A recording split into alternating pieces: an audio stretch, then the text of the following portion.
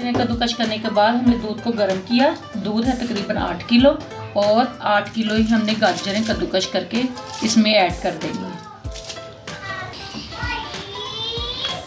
दूध को डाल के इसके अंदर गाजरों को, दूध के अंदर। अब हम इसको अच्छे से पका लेंगे।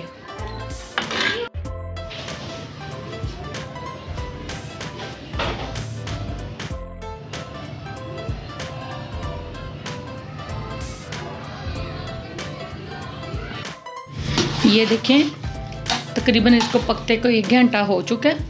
अब हम इसको और पका लेंगे।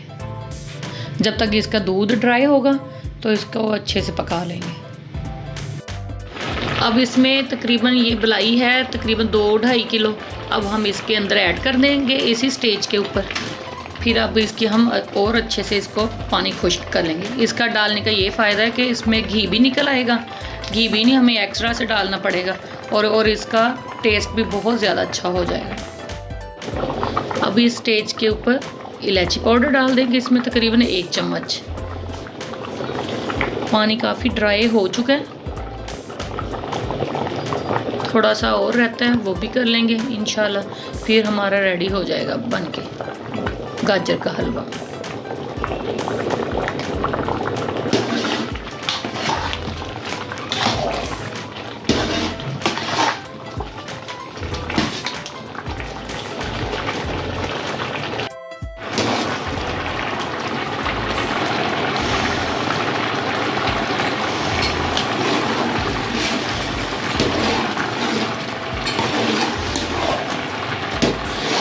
स्टेज के ऊपर ये काफ़ी हद तक दूध मिक्स हो चुका है। खुश्क हो गया तकरीबन।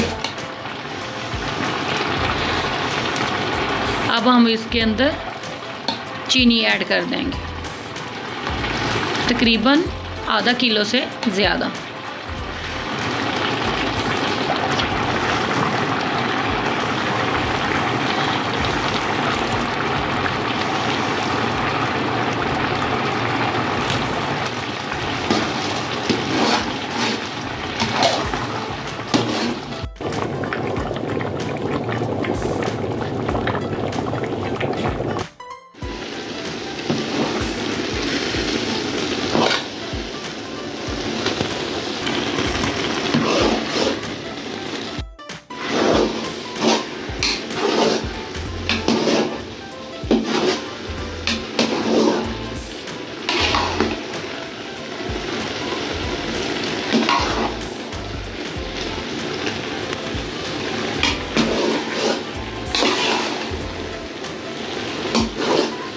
ये तकरीबन रेडी होने वाला है। बस अब हम इसमें खोया डालेंगे, बादाम पिस्ते डालेंगे और ये रेडी हो जाएगा। इसका कलर देखिए कितना प्यारा सा है, माशाल्लाह से।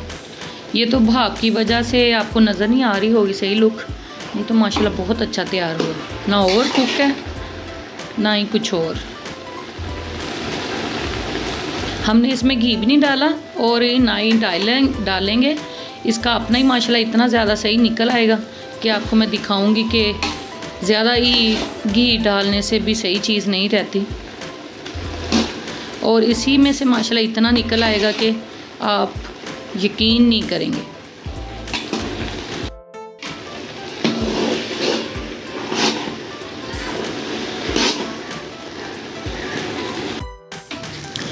पानी इसका सारा ड्राई हो चुका है। पानी तो निकाल जा सकता, गाजरों का पानी भी होता है, दूध भी होता है। वो सारा ड्राई हो गया, चीनी का पानी भी ड्राई हो चुका है। अब हम इसमें खोया ऐड कर देंगे। तकरीबन आधा किलो के करीब आधा किलो खोया वो इसके अंदर ऐड कर देंगे, कुछ ऊपर गार्निश के लिए कर लेंगे। गार्निश के ऊपर भी करेंगे, वो जैसे इसमें नहीं सारा ऐड करेंगे। वो इसलिए जब हम खाएँगे तो उस वक्त उसमें डाल के फ्रेश तब खा लेंगे। अगर हम पहले ऐड कर लेते हैं इसमें, फिर उसे क्या होता है? टेस्ट ख़राब हो जाता पड़ेगा। फ्रेश खाने का एक अपना ही टेस्ट और फ्रेशनेस होती है उसकी। अल्हम्दुलिल्लाह, गाजर का हलवा तैयार हो चुका है। अब हम इसके अंदर बादाम, पिस्ते ऐड कर देंगे।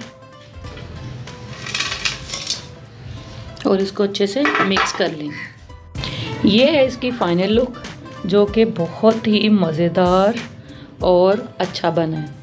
मज़ेदार का आपको फिर पता चलेगा, जैसे आप जब ट्राई करेंगे रेसिपी को, फिर उसको फॉलो करेंगे और बनाएँगे। प्लीज़ मेरे चैनल को like and share and subscribe कर दीजिएगा।